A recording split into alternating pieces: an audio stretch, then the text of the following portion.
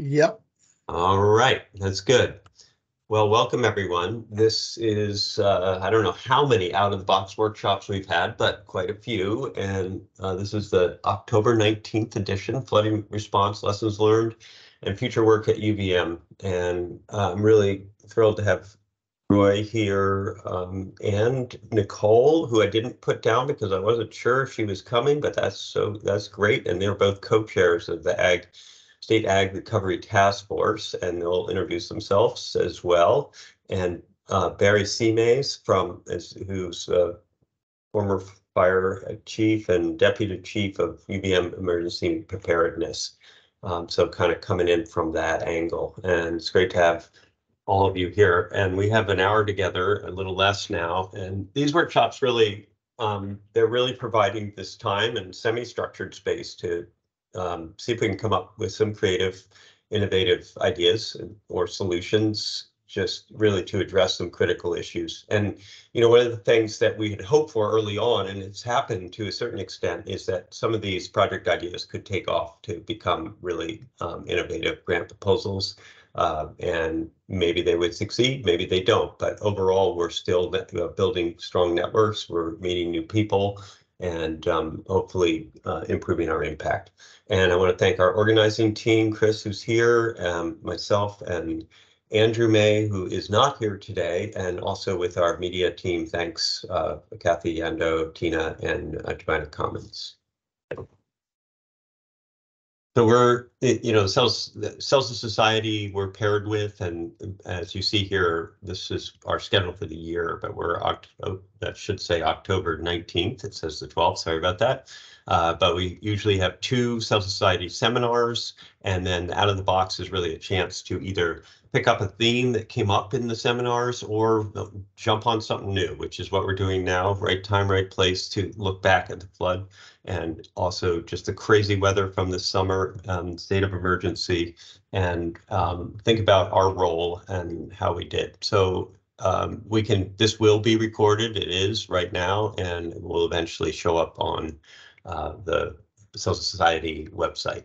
So with that, I'm going to end uh, this show and bar, come back to full screen. There we go. All right, and we have 13 people in the room. So uh, Eric, that was your hand up from before, right? That's not a new a new question. Okay, so thanks again for everyone everyone for showing up here. I'm going to be a loose facilitator, sort of uh, taking the lead here to start this off, but hopefully if things go well, I'll, I'll be able to step back uh, very soon. And um, what I would like to do is uh, go around real quick and let's have um, uh, let's have Barry uh, and Nicole and Roy go last. Uh, just introduce yourself, where, where you're coming from, what department, and um, in a sentence or less uh, where you where you were or how after sort of after the weather state of emergency flooding it, it how you interacted with that um, just one one sentence nothing no detail but if you if you did how you did uh, in your job or whatnot. So I'll go first as a model which is uh, yeah Hans Estrin and I am uh, from UVM Extension, produce safety specialist, and during after the flood, I was part of a team that uh, worked with a lot of growers to, in part, to help them uh, sample soil for um, some of the heavy metals and also bacteriological contaminants. So let's see, Maura, you want to go? I see you next. Sure. Hey everyone, my name is Maura Folan. I'm the director of the Community Nutrition Education Program with Extension. Um, and I guess the biggest impact we had, we certainly had some basement flooding, but my husband's on the select board of our town and had to go out and take pictures of all the road damage and um, be away from us for quite some time to, to um, yeah, help get that back on track. Great, thanks, Mara. Eric?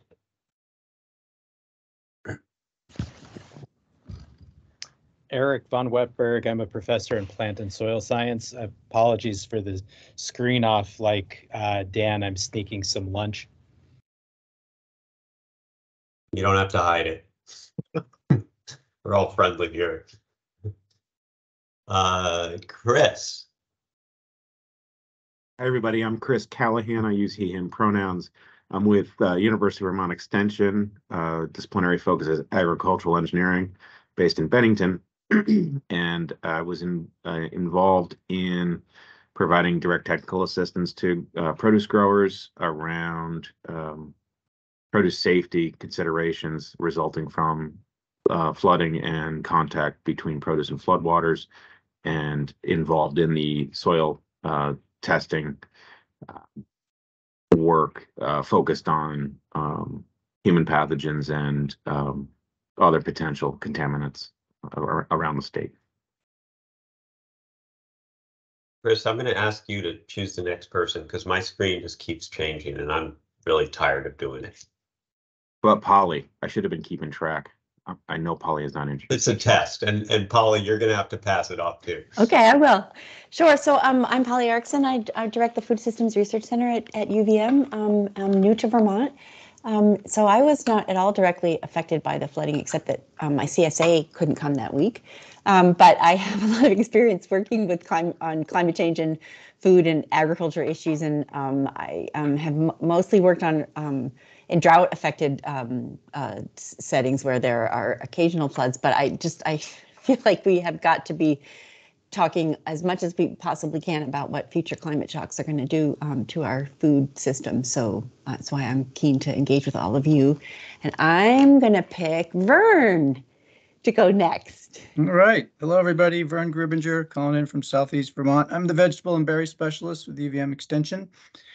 And I think my main role in these kinds of events has been an aggregator and translator of information for growers, um, communicating primarily through our listserv that is for the Vermont Vegetable and Berry Growers Association, but also a lot of personal contact. So trying to help people understand um, the technical resources, like related to the produce contamination, but also the um, uh, funding opportunities, and um, and then it just kind of morphs into social work, I guess, for lack of a better term, just somebody there that cares and someone to talk to, and um, helping growers connect um, to support one another. And let's see, I see a lot of. Uh, I guess I got to go to the people here to see who's actually here. I will call on Dan. Thank you, Vern. Dan Lerner, Associate Director and Chair at UVM Extension. Um, we're normally, my family and I are normally away in July on family vacation, uh, but we didn't do that this year. And we were here when all the floods hit, and I'm glad that we were. Um, my role in this with within Extension has been helping to pull together all resources coming from all different locations and put them into two two different internal places for Extension personnel to see and draw upon. And then away from work uh, on a more personal level, uh, my wife and I assisting a friend whose family in Barre lost their home, completely destroyed. Um, I will pass it to Corinne. Hey there, this is Corinne in Berlin, where usually I'm the um, administrative assistant. Usually I'm on the emergency management ends of disasters, but it was personal for me as I was flooded out, and I've been continuing to help the other 40 families who were flooded out. And I must say that I also felt very supported by my colleagues here in the university in general. So thank you.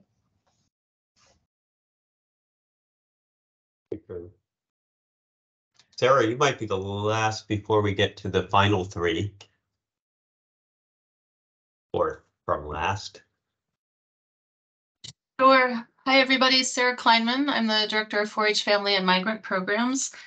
Um, and like some of you, I think my role, well, my role in, in this particular flood was primarily helping my team who was in the midst of running events, um, try to troubleshoot, especially with fairs and field days and, and other events out in different communities, since we have people coming from all corners of the state. Um, some people experienced challenges and others didn't. So disseminating information, um, trying to figure out what to do and, and where to redeploy resources. And then also, of course, we had families that were affected. Um, and so like Vern, I think erring on that social work side. Um, and then we, we in the migrant space, of course, there were farm workers as well that were directly impacted and um, and some of the the migrant immigrants uh, that are here in Vermont and helping them find other housing uh, and and manage some of the the issues.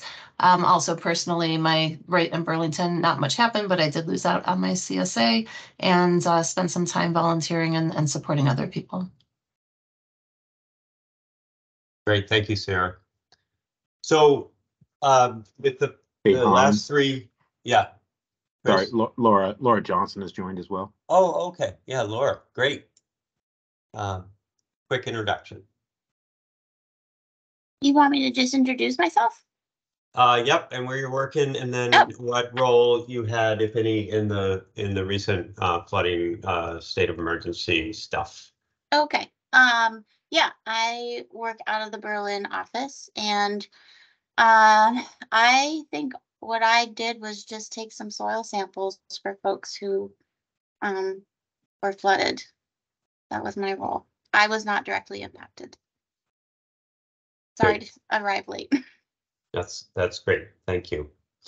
Okay, so we're jumping in and that, we've already jumped in. We get a sense of who's in the room and some of the work that has been done. Um, and I did throw in the chat some of the questions we, like prompts, general prompts we'd uh, thrown up and, uh, and thought about uh, before this meeting. Uh, but we're not, I just putting those there as a reference and I love, uh, I would love uh, Roy and Nicole and Barry to introduce themselves. And I- your special prompt is where you're coming from, but also if you can share just a little bit about um, in the work you're doing specifically around some of the disaster response or preparedness or flood response. Um, and especially the task force, I'm thinking on flood from the flood uh, task force that Nicole and um, and Roy have been co-chairing. What are, what are some head scratchers? Like what's come up in meetings so far? What's like one or two things that are really seem to be um, a conundrum that could that UVM might be able to um, uh, have a role in? That's I, and and if you don't like that, just you can throw it out. But uh, that's the that's the thought that occurred to me, especially if you've done some work on this already, if that's relevant. And if not, feel free to share what is relevant about where you're coming from. So anyway, uh, Roy, why don't we start with you? All right, yeah, so that's, that's good. Um, so Roy Beckford is, um, Director of Extension, uh, Associate Dean Cals. Um, so, and, um, I'll introduce Nicole in a second, but my, my family happened to be here when, when the floods were happening in, in Vermont. And in particular, my youngest son, who's twelve years old, uh, couldn't understand why there was so much flooding with that little rain um, that he observed. And so it was a good lesson to explain topography and landscapes and so on, and to give him um, some sense that this was not Florida. And when a flood happened in Florida, it's downpour after downpour, um, and usually associated with a hurricane. But um, and he got it. So because we drove around a little bit um, into the intervale, uh, toward the intervale, so we got some sense of what was happening. Um, I was I was right after the um, the events started occurring. Um, I spoke with Anson Tebbetts, and one of the things that um, he wanted to, to to get from Extension was um, a quick damage assessment of what was going on. One of the first persons I talked to was Vern, and Vern took the opportunity to send me um, the report from 2011 for from that tropical storm, Irene, I think it was, um, and it was interesting the similarities. I actually took a moment to go back in time to look at the last major flood that happened in Vermont before that. And the hundred year flood was some something around 1920s. Well, there have been floods in between, but the last major flood uh, of, of that um, behemoth level was in, in the 1920s. And in that flood, um, the lieutenant, lieutenant governor, governor died. He drowned someplace. I mean, I just found that interesting um, as a as a as a historical um, um, fact. Um, but right after that, we uh, once I started engaging with um, with my extension colleagues and with the the agency of ag, it was decided that we they were going to put together a task force to kind of look at not just response but uh, recovery. Um, and Nicole Dubuque and myself were named as co-chairs. We've had several meetings, and um, Nicole is really at the forefront of this, um, putting, putting, helping pull the meetings together. Um, and so I'm going to introduce, I'm going to ask Nicole to introduce herself um, and kind of give some sense of what we're up to. Sure. So Nicole Dubuque, I'm the Chief Operations Officer for uh, the Agency of Agriculture, Food and Markets and uh, co-chair with Roy for the um, Agriculture Recovery Task Force. I am also the recovery liaison for our agency, which means that I meet regularly with the other recovery liaisons from the other state agencies, um, as well as the Chief Recovery Officer, which is uh, Doug Farnham. So I uh, I can talk a little bit about the agency, uh, or the, excuse me, the agriculture task force first and how that plays into my other role, because I think that might be helpful. So like Roy said, we've had a few meetings at this point. We have representation from um, UVM Extension, multiple state agencies, and and many uh, partners in the agricultural sector, including um, also uh, federal representatives from USDA, uh, both rural development and also um, FSA.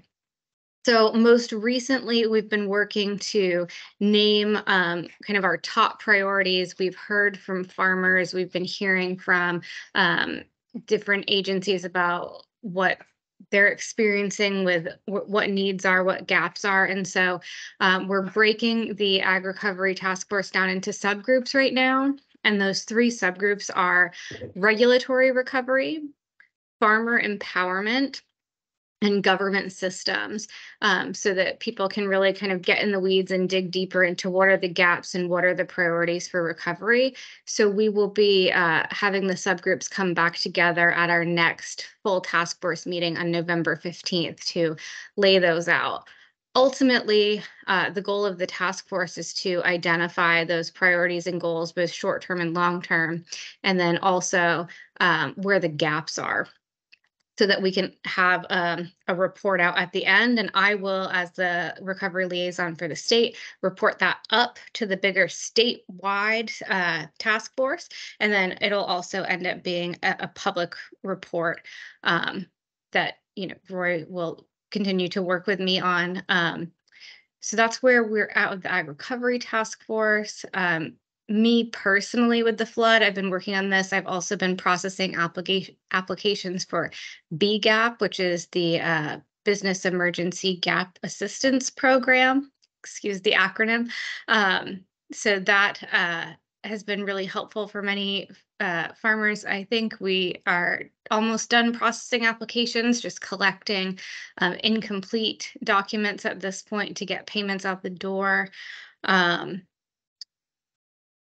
yeah. And then we're working on policy stuff. And then as far as where I was for the flood, um, I was actually in Montpelier that day and I barely made it through the interstate before it closed. So that was nice. Um, but I I live up in Grand Isle County and we did not have much of an impact um, here on our personal property, thankfully. All right, so so so Hans, before we, we get we get to Barry, um, I, I know I, I worked quite a bit with um, Michael Schirling as things are being organized across the state. Um, and uh, I know there is close um, connection or connectivity between Barry's office and Michael's office. Um, so um, he can actually speak to that a little bit more uh, and talk about some of the things that that um, perhaps um, he was involved with or he was engaged with, with with Mike's office. So Barry, over to you. Great, thanks, Roy, and and welcome everybody, and thanks for the opportunity to join you. Uh, my name is Barry Simays. I am the University Fire Marshal and Deputy Emergency Manager for the University of Vermont. Uh, a little bit about my history. Uh, so I spent a, a, career in the fire service. Uh, retired from the city of Burlington Fire Department uh, after 21 and a half years, and and came here to UVM uh, as the fire marshal. I retired out as the city fire marshal and a battalion chief. Uh, so my background comes uh, from more of the uh, fire service response and mainly the uh, fire prevention and code compliance aspect of it. So every uh, any given day, I could be interpreting the fire and life safety codes for any of a number of constituents on campus, working with construction projects and such. Um, conducting assessments, supporting larger special events on campus. Um, and it wasn't until uh, April of this year. My position was previously housed in uh, the department's, the former Department of Risk Management and Safety, which became the Department of Environmental Health and Safety. Uh, so in April of this year, my position was strategically moved into the Department of Emergency Management, which caused it to move from a de- an office of one to a department of two. Uh, so John Marcus, uh, the previous uh, fire marshal for the university, is the emergency manager.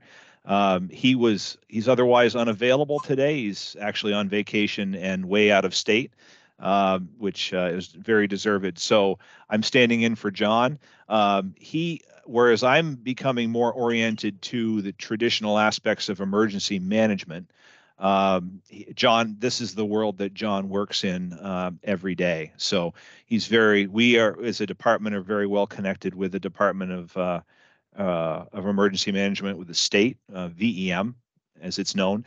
Uh, my primary interface with the state would be the Department of, excuse me, the Division of Fire Safety, which is housed within the Department of Public Safety. Um, so that's a little bit about how we work. So my caveat is today I'm still learning a lot of the uh, the, the, nuances of traditional emergency management work uh, and expanding what what it is that I do and how I approach uh, crisis situations. Uh, but my primary focus is still in the um, in the code compliance world. So I'll do the best I can. And if there's any uh, questions that I can't answer, I'd be happy to take that back to John and we can get some clarity on that and circle back to Roy and Hans. Um, so our we the Department of Emergency Management is housed in the uh, in the D- Division of Safety and Compliance at the university, uh, which is fairly new, uh, over about a year ago. Okay, uh, when Mike Schirling, as the Chief Safety and Compliance Officer, came to the university, uh, formerly uh, was the Commissioner of Public Safety for the state of Vermont. Uh, and before that, in my time as with the fire department, he was the police chief in in the city of Burlington. Um, so where uh, John Marcus and I, the week of the flood, we actually ended up uh, supporting uh, the Division of Fire Safety with uh, rapid building assessments in the in and around the Barre Montpelier area. So we spent a full day on that Thursday in Barre, Berlin, and Montpelier with this working with state inspectors to uh, to do rapid assessments, and then John went out uh, again on Friday. Um, we and as a division, uh, Mike Schirling spent a lot of time in the state state's emergency operations center up at the Berlin airport, uh, and his primary function um, was coordination of the volunteer resources from UVM, which was a considerable considerable effort and undertaking. Uh, and and UVM uh, faculty, staff, and students played a huge role in helping our communities to recover uh, through their service. So it's a little bit about uh, professionally what my involvement was. It wasn't very much, uh, but we were of course monitoring the situation uh, and and standing ready to assist in any way that we we could, based on our our professional backgrounds. So. Great. Thanks a lot, Barry. Yeah we have 35 minutes and the goal would be to get, you know, as as much as many good ideas, good discussion, um, and we do have the opportunity if we want to break into um, some subgroups for a bit to dig into more specific issues.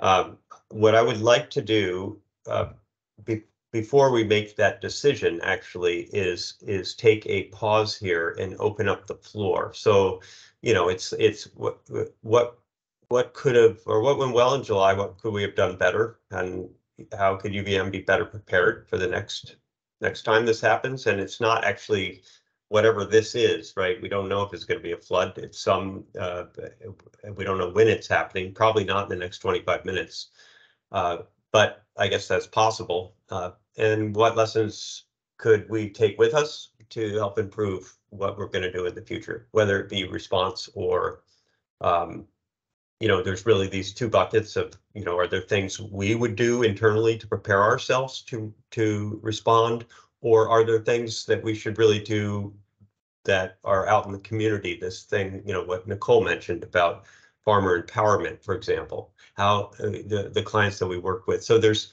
ways of thinking about this, but um, I would love to just pause for a minute and have anyone raise their hand and pipe up. What do you, you know, what seems to be, um, if, uh, let's, let's do more forward looking. You can wrap in maybe some of the stuff that happened, but what's this lesson learned? Um, what would you say should rise to the top for work we could do um, now or in the, in the near future to help do a better job next time? So Hans, I'm gonna, I'm gonna do a fifteen second or a Yep. little bit more than that um, preamble here. Um, I went to work in the British Virgin Islands in nineteen ninety-three. And while I understood, very, very much understood um, the role of extension um, and, and, and how information systems work, I got a lesson from an old farmer who was about 90, 90 years old at the time. And he told me, he basically explained to me in one sentence the value of information. He, he told me that before the 1930s in the Virgin Islands, he said when a hurricane came through, they only, most of them were unnamed and they just called them storms. And he said they would wipe out every everything they had and they were dependent on themselves for food. I mean, it was ma- mainly subsistence agriculture. And he said the minute they started naming storms and he started hearing that a hurricane was heading their way on the radio through news and so on, he said it changed everything because now they could prepare for it. Um, there were warning systems. They could save things unripe or you know whatever.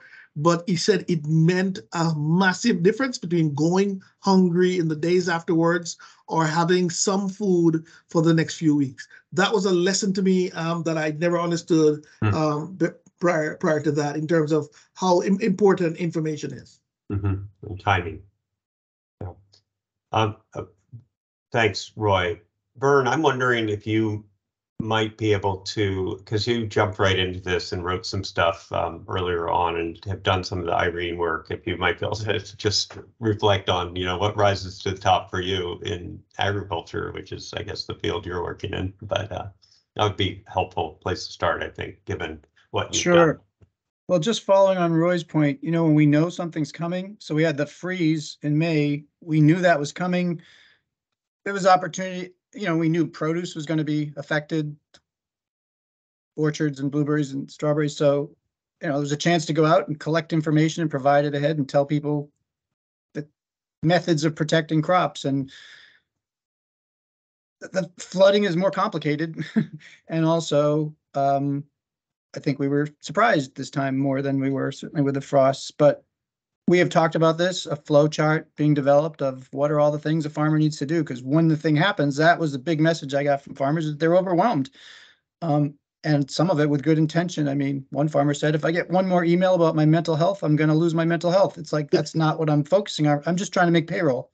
And, you know, I need money. I need a check. Where do I, so so I just put that, populated that uh, in the chat, you know, it was a quick brainstorm right after.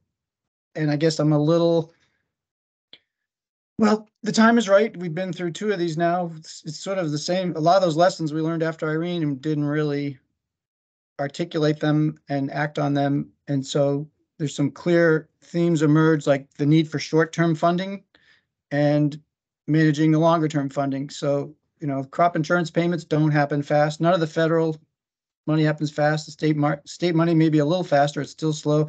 So GoFundMe and NOFA and, you know, those were things that people got right away.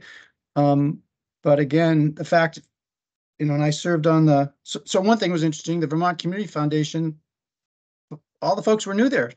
I mean, when I talked to them, they didn't even know that they had stood up a farm disaster fund after Irene. So once they were reminded of that, they stood it up. So, you know, just thinking about all the applications, and then I just was on the NRCS State Tech Committee call. They gave out four million dollars. The Vermont Community Fund gave out one point five. BEGAP, I think, was a million. I don't know what NOFA did. I don't know what folks are gonna get for NAP or crop insurance. Um, GoFundMe. So just thinking about four of those at least could have some kind of uniform application instead of the same thing over and over.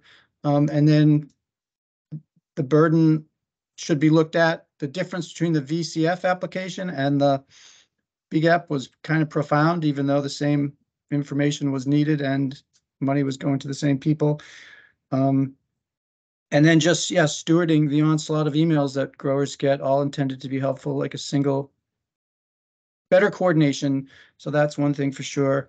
Um, and then you know, we've now done contamination sampling twice after floods, largely not finding anything. There's a whole deeper dig there of can we move FDA's needle about making farmers throw all this stuff away, especially things that get peeled and cooked and maybe not, but it's the, you know, additional experiments and research to figure out if that case has legs or not, I think would be important. The, then you have the feed and the mycotoxin, and my perception is it was very different response this time than after Irene. It seemed, maybe I got it wrong, but it seemed a lot stricter after Irene, and partly there's a feed crisis and animals are going to starve without feed, and um, so maybe that was part of it. Um, the other thing, I wish, know, I said this yesterday on the uh, NRCS call.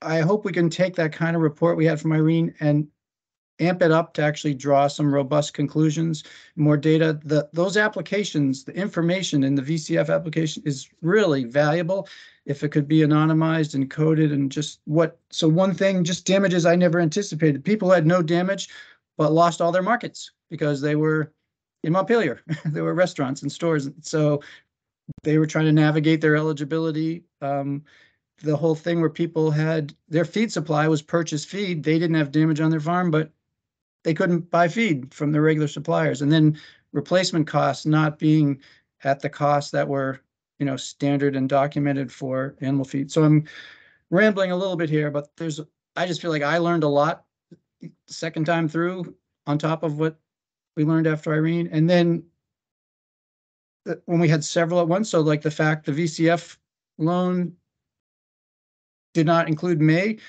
seems like the the people that were damaged from frost were really just hung out to dry. They and the there was a local meeting down here of orchardists.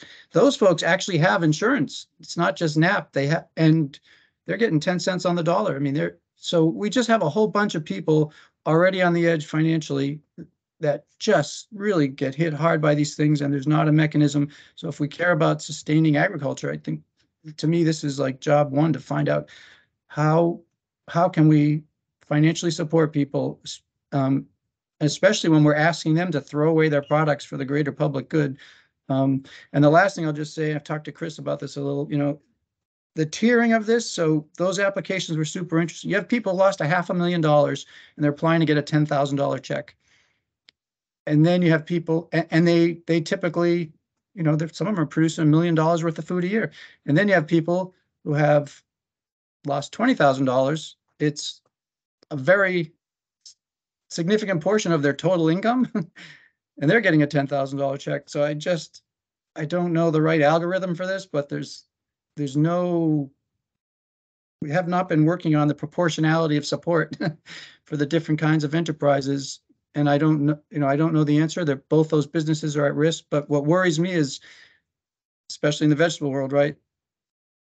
A small number of significant producers that produce a lot of food are just expected to manage this enormous loss and stay in business. And I'm not sure how good of a long-term plan that is. Polly has her hand raised. Yeah. Yeah, Yeah, Polly. so I- I wanted to get a sense, I mean, because we always hear that we weren't, we weren't prepared and we weren't, we weren't, ex- we weren't expecting it, but I mean, is that just because it, you'd had one in 1920 and you had it in 2011 and then, and then, and then it's happened now? Because that lack of preparedness, Vern, is what leads to all the problems of coordination and the inadequate financial resources, because nobody, nobody was planning for this to happen on a recurrent, on a recurrent basis. Um, but so, I mean, why were we so surprised when it had been raining and raining? Um, and uh, some, so I mean, that's I guess I guess one one question. And then back to Roy's point, I mean, people have been talking about you know improved climate forecasts and improved climate information um, as resources for helping people better prepare for disasters. But again, if there's this mentality that it's a a one-off and it's not really going to happen, so um, and I would argue that we need to think of um, like our farming needs to become much more climate resilient, which means our, the policy support for it um, needs to be there. And so, um, I mean, I'm not, I'm not critiquing. I think all of the individual things Vern has talked about, but this to me demands like a, like a higher level, just kind of mindset change. Um, So I don't know. I don't know where, I don't know where, I mean, yeah. Well, just real quick, some nuance on this. So partly it is Mhm. the micro locality of, like, it didn't flood in the same place as it did after Irene. Right. Some places, yes, but not everywhere. And the timing, Irene was late August. It was a great growing season. People had made a lot of money and they lost the end of the season. This was July. All the Yeah. expenses were out and almost no income in. Yeah. Completely different situation. So you can be, I think a lot of the growers in floodplains know they're gonna flood sometimes. But Yeah. there hadn't been planning for, hmm, how's it gonna work under this kind of situation? Mhm, Um, and not knowing where the water is gonna go exactly mhm. is part of it. But I mean, I do hear you. You would think that there would have been uh, more preparation. But I, I guess this speaks to the second question, Hans, um, about UVM's role in all of this. How much, what's her, what was her role, what's been her role post Irene in looking at, um, helping with resilient infrastructure and technology or advocating for those things? Um, and, and capacity building as well. Those are, by the way, these are some of the things I've been writing down in my interactions at the, um, task force.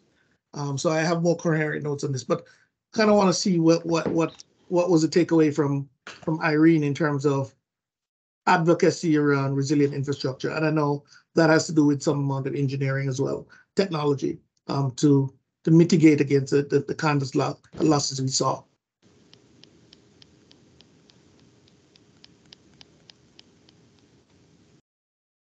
Is there an answer to that? I mean, I, I actually don't, uh, I don't have a particular answer to, I, at post Irene.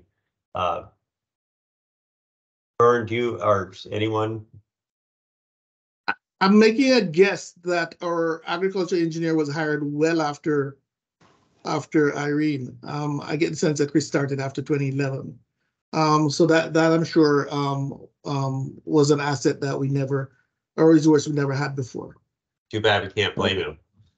You, you can, that's fine. Um, I, I was hired in twenty twelve, but, uh, I'll, I'll make.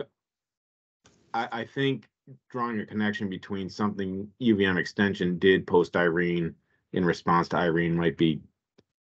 Might be difficult, but, um, some observations. I, I work with farms that have intentionally moved uphill. Um, and given up, uh, preferred soils for the resilience of being uphill and and working on grade when they they wouldn't previously. So that's one thing. So that that that introduces some challenges but at you know with the benefit of uh, maybe a little bit more um resilience um certainly i think loads of soil health work and um it should should not be um missed in this conversation uh as probably preventing what could have been a lot worse. Um, I'll leave that to Vern um, to tell me I'm wrong or or not. Um, I, I I think the other thing I want to go back to the first question while I'm while I'm unmuted. What went well? I saw a tremendous amount of care in UVM uh, within UVM uh, for each other, but also for our communities. And it was nice to see that supported organizationally. Um, so I feel like that was a very strong cultural um, benefit or um, a performance uh, on the part of UVM. Um, I I have other thoughts on what we can do better, but I don't want to take up all the time. Vern, any thoughts on on that stuff? Well, I just put in the chat, the collaboration was really quite good across agencies. Um, and that's really important. And we were kind of coordinating on the fly a little bit. So I think if we have sort of a foundation of, doesn't have to be totally dialed in, but um, and one particular frustration for growers was that loss reporting of the FSA one's opaque. They can't share it with anyone. It's not online. It's telephone calls and then state then collected afterwards and NOFA collected and I had an informed, so we're at least four asked, probably more about losses. Um, so that's something we could certainly uh work on. So there's some, you know, low hanging fruit here to be more caring of the farmer's time. Um, So should we, should we, let me, let me bring Barry in because I want to ask whether UVM should be conducting more risk, risk assessments to identify vulnerabilities where our stakeholders are.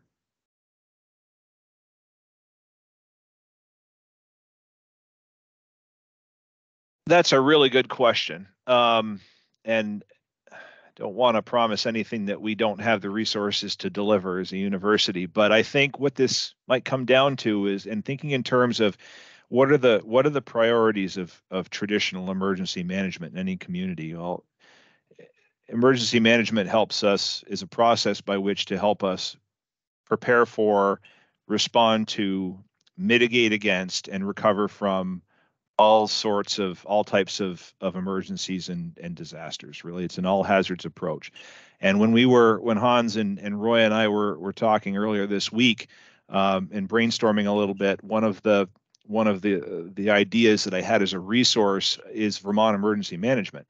And you know vermont's a very large very large uh, fairly large state right? Not as big as some others but um, comprised of a significant number of, of small communities. And and it occurred to me that probably the best resource that that we have available to us and and the and the the producers that reside and and, and work in in all of these communities are the local uh, the local emergency management directors.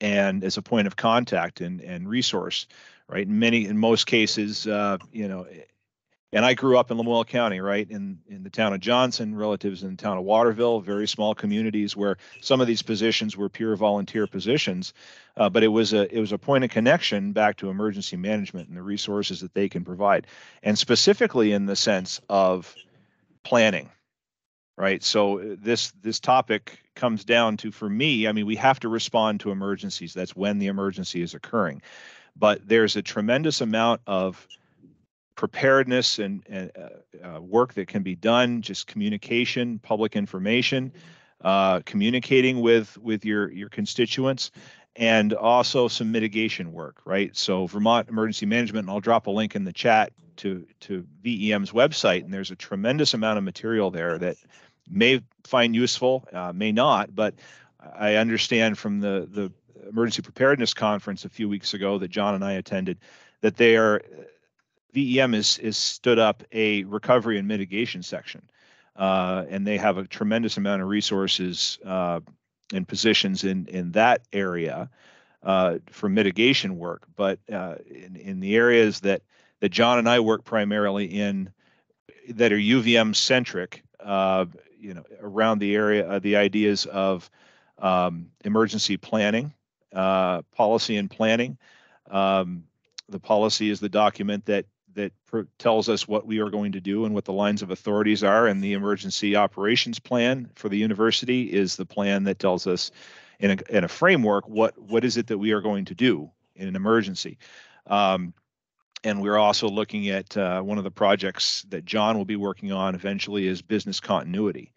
Okay, so to me, and in my previous work with in the city of Burlington, having a plan and then uh, making sure the plan is is revised and current um, and and is uh, and is communicated and is exercised uh, and then if the plan is enacted uh, following a major event that it, that there's an after action review that takes place and you take lessons learned and you apply it to that plan to me that's that's the starting point. and any any of us like let's take a, a let's take draw a parallel to our own our own homes, right? You know, coming from the fire service, and last week being Fire Prevention Week, we we have always encouraged people to have and practice a home fire escape plan. That way, when you know when when the event actually happens, that you you've practiced the plan, you have a good established plan, and then that helps that helps with your personal response. And I think to me, the same the same. Uh, the same thought process could very very easily be applied to uh, the constituents that you're referring to. So for me, it starts with planning and planning and preparedness, and then mitigation through the resources that each community has, whether it's through the town clerk's office, through the select board. Every every town has an emergency management director, and really your constituents are stakeholders within every community. and they're a major part of that community. Right. So that's that's where my thought process is going. Okay. Barry, I'd like to just add on to that, and then also Sarah has a uh, had a good uh, comment in the chat, and I think S SB too, like a while back. So feel free to any of you to pipe up too, and um, just follow up on what you wrote. Um, yeah, Barry. So after our last conversation, I that was one of the brainstorms I had, which is like I, we work with farms, and you know I have these uh, the farmers that write plans for produce safety. They're doing flood a little bit on flood response if you know if they were going to have a flood but you know it, it seems like resourcefulness resilience is really about thinking about your all these situations who are your resources who what's the local network um, who can you draw on because in an emergency it's not like you know some this sort of top down you know things come out of the sky and pick you up and bring you away right? You're you're you're actually really needing to deal in the moment and that preparedness is really important. And it seems like there are templates out there. We don't need to reinvent the wheel. In a way we just need coordination and and put that out there uh, somehow. And um, i think that that just hit me in in at least you know for the folks that i work with. Um, one other thing about resilience too i want to say for food systems is it's not just like the flood hit. It was an awful timing, but then it just rained and rained and it had worst season ever. So these were so many farms that couldn't were not flooded, but they couldn't get in the fields with their tractors for a long time. So this slow moving disaster and everyone was down at least 40%, 50% loss. You know, I've heard over and over again. Uh, one farmer lost uh, probably 90% of their crop. They ended up getting on the phone because they're a big supplier to Shaw's and through whatever, you have to be good on the phone, found some growers in Plains in New York and got all this stuff from Plains growers to cover what they were doing and supply Shaw's so for everything that they asked for. And and um, so he turned into a middleman. This is like pivoting. Now that's resilience right there, and it's about networking, but it's in the region. And and that was a kind of interesting thing. Uh, one conversation that stuck out. Anyway, I'll stop there uh, Sarah and any anyone else. Chris, Chris and then Sarah or, or Yeah. Sarah, no. Go ahead, Sarah, please. Sorry. Oh, no, you, well, you had your hand up first.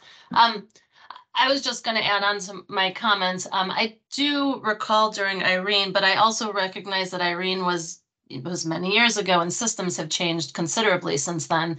Um, the web, broadband, like there's so many more ways to get communication out with social media. So to me, that's like, um, it's hard to compare the two situations. But again, my, my focus is more internal within extension. I think something that could help if we, when we're confronted with something like this in the future, is that we, we have our own emergency plan that involves like an all hands on deck, you know, weekly meeting. Um, so that we are coordinated, we know what people are doing. Um, those of us who aren't involved in this direct dissemination and working with farms can support our colleagues if they need it. That was something that we did during Irene, um, is that we were out going door to door with forms and, and, and, and maybe that was led by um, the agency. I, I honestly can't remember, but it does, anyway, it really, to me, felt like um, everybody within extension was doing their great work and they were out and, and, but we weren't coordinated. Um, and I don't recall having a meeting among everybody to learn who was doing what. Uh, and I think that that's something that could be helpful for us in the future. Dan, Thanks. Uh, yeah, thanks, Roy. I think Sarah makes a good point, and Chris had some more on the similar track over in the chat. Um, we, and these were, I think, I guess you say, Sarah, these are sort of internally directed comments. Um, you're correct. The relevant result area team did not want to convene. I, I was a little surprised as well. I that was one of my first thoughts, but they didn't want it. Um, regardless, um, you make a very interesting point about uh, main, developing and maintaining a steady state of preparedness so that when this or something else happens, we we simply open the box that we've got and and we run the plays. Um, I'm thinking back, you know, we we had a little bit of capacity developed devoted to Eden many years ago through a single faculty member who had a partial appointment to it, but uh, and we had somebody working in farm safety, and both of those things are no longer present. Um, but you make an interesting point about how we might think about trying to recapture some of that energy, um, and you know, and then nurse it along. I I I, wonder, Barry. I, I don't know if this is in your basket or not. I wonder if the university might have some resources they could devote to help us to do that, uh, to at least stand stand it up. Uh, and then we would take it from there in terms of uh, keeping things maintained and keeping things fresh. I think that's a very good question. So if you can just follow up, uh, send a note to uh, John Marcus and myself with that question. Uh, that's that's going to have to be that to me would fall. That would be a question best addressed at John's level uh, as a director's position because I think there's something there, right? And um, you know, any way we can get, we can help. We can help not only extension and extension statewide, but extension uh, the constituents of extension uh, to to disseminate some information and and and how do we um, how do we in, introduce preparedness and planning to maybe uh, you know an audience that doesn't that hasn't considered it right? Because the the truth of the matter this is growing up in the state in a rural part of the state is there's a certain period of time where you're on your own in an emergency right? And uh, it's it's incumbent upon all of us to to be ready for that.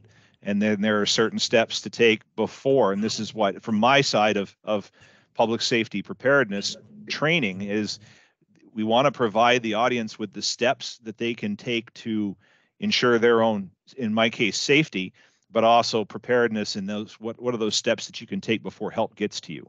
Uh, and it could even you know extend to to a conversation of okay we're in the middle of winter and a significant power outage happens right? So once once the framework is established and and individuals have that framework then they can they can populate that with you know any consideration that that meets the needs of of their individual business or situation i think it's yeah send a note to send a note to john and i and we can talk about it when he gets back That's Yeah, great. good There's idea. some really, really good stuff coming out of this. Chris, you had something and Eric, I think, uh, then is number two.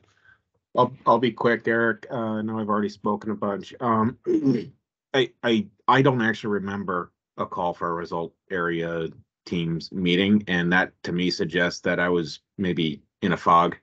And I think that's an important thing to keep in mind. Um, we may need to be cross-trained to support each other that way. Um, you know, so when a particular event is hitting one group, uh, maybe disproportionately, uh, maybe another uh, part of the organization can backfill in a way that's that's helpful in facilitating those conversations. And even planning within groups, uh, you know, this thought of, you know, for, for the ag team, you know, team dealing with farms, team dealing, you know, 4-H, do- et cetera. Um, Eric, you were next, Yeah, and then so Grin. I'm uh, I'm not extension, so I wouldn't be on any of the, these teams. We do a fair amount of on-farm work, particularly with Vermont Land Trust and some of their uh, farmer farmers that graze that they work with. I'm looking at Vern's fact sheet for veg and berry growers for preparedness, and we need something similar for long-term preparedness for uh, pasture growers. I think, you know, to Vern's earlier point that cover crops helped on the landscape, I think well-managed pastures help too. They're a, a soil sponge. They they hold more water and it would be worse without if they were in a different land use. Um, all of the grazers I've talked with say, I'm great in a drought. I know how to stock for this. I know how to prepare. I have no idea what to do this year. And people who regularly have fields that look beautiful, uh, they look horrible this year. And you know, they're not suffering the way that a a veg producer is. They don't lose everything one time of year the same way. Uh, so the scale of losses and the scale of resilience are, are different, but um, we can definitely do more to be more prepared or better prepare them. And Eric, would you see that as uh within the group that you work with, this group of, of uh, great, you know, producers, animal um, husbandry producers, whatever, grazers? Yeah. Okay. Corinne? Thank you. to the point what Barry was saying as far as um, potential long-term outage, power outages. The Calais area this year, just before Christmas and during Christmas, experienced not only widespread power outage, but phone outage. And they discovered that it was very difficult to reach the residents to let them know where they could go um, where there was a generator to recharge phones and so forth. And they also discovered that radio stations tended to point people to lists online as far as where you could find help instead of just announcing it on the radio. So those who at least had batteries in a radio could get information. And so that's just something to keep in mind as far as you know, if you're calling something in or sending something into a radio station, asking them to announce out the specifics and making these plans in advance so people know where to go, who to contact if they have really limited means to do so. Because that happens. That's Great. Well, we're, you know, I'm looking at time here. We're almost out of time and I really want to make sure, Nicole, you also have an opportunity to, since you're going back to your, the Montpelier or wherever you are. um, I'm, I know we can get in touch with you, but uh, from this, are there things that are kind of rising to the top for you um, or that you would bring back or that you would suggest, yeah, that's something that uh, UVM would be, it would be great if, if uh, UVM could take this kind of thing on or that kind of, something like this. So I feel like everything I've heard, uh, some things I heard actually were really like enlightening, light bulb. Um, Vern, some of the things that that you were talking about, um, really were just like, oh, that makes so much sense. Um, but I I don't have something off the top of my head to say like I'm going to bring this uh, back necessarily. I think a lot of this is just in line with what um, I have been hearing, and I you know would obviously encourage all of you. I'm sure you, send things to Roy, but just as things come up for you, um, and I know that this meeting's recorded, so I'll probably go back and and watch some of that. Um, just to make sure I, I caught some of the points. But yeah, I would just encourage you to reach out and let me know as things come um, up for you. I know one thing uh, that came up for me recently, I keep getting phone calls about it from different um, farmers, and I hadn't even thought about it until now, which seems ridiculous. But I, I think somebody said, you know, we get kind of in a fog of like we're so hyper focused on certain things. Um, was farmers who do cut flower farms, farmers who garlic, things like that, where it's like they don't even know until next spring, like how bad it is for them. So it, they're having struggles even like applying for programs because they don't know what to write in the narrative. Like I don't, I don't know where I'm at yet. Um, so things like that have been on my radar this week with phone calls. But yeah, I really appreciate you all uh, letting me sit in and listen. Thanks so much for for coming, Nicole and we are at time right now. Um, I do also have the sense that this uh, could go a lot longer. We could do more. We could circle back um, on it with another session in the winter um, if need be. And I, and you know, I I definitely am hearing loud and clear this coordination, clear information management, um, and then not reinventing the wheel, uh, helping folks in in the field prepare in whatever way they need to, and potentially coming together as teams uh, within the university to make plans within our either departments or areas. Um, and yeah, Vern, a lot of the stuff that you and Chris wrote uh, for me really hits home. I mean, thinking thinking about that. So um, yeah, there's a lot here. Roy, do you have any last words um, or or Barry before we say goodbye for today? Um, let me defer to Barry. Um, Thanks, Roy. No, it was a great opportunity. Thank you very much. And um, and when again again when John gets back, I think there's some opportunities here. So at least we can, if we can even help, uh, you know, uh, orient you extension and apply, you know, a traditional framework for planning, and and I think that would be a, a tremendous outcome. It's something that you can share far and wide, and it's really it's the the traditional frameworks do apply no matter which um, what type of emergency we're planning for. So. And Hans, if I, if I, if I have to add anything, um, there are a few things that I'm taking away from this. There, there's a need for greater coordination within UVM and at UVM within extension as well. Um, also uh, certainly the capacity building and knowledge sharing that we're good at. We should, we should do some more of that.